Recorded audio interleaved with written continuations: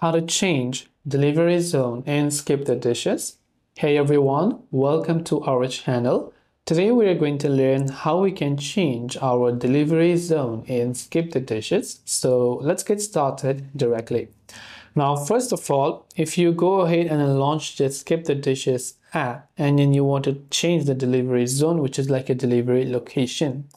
Now, in order to do this, what you want to do is currently you can see this at the very top of the Skip the Dishes app. This is my current delivery address. To change it, just tap on the current address from the top. Here you can see select your location. Now we can choose to edit our location by hitting the edit button that we can see there or we can choose to add a new address instead. So tap the add a new address button and just type in the address that you wish to add and once you've done that that next one you can choose as your next delivery address and save the changes. And hence in that way your delivery zone on skip the dishes will be successfully changed. This way you can change the delivery zone and skip the dishes. I hope the video helped you out. And if you have got any further questions feel free to leave them down below.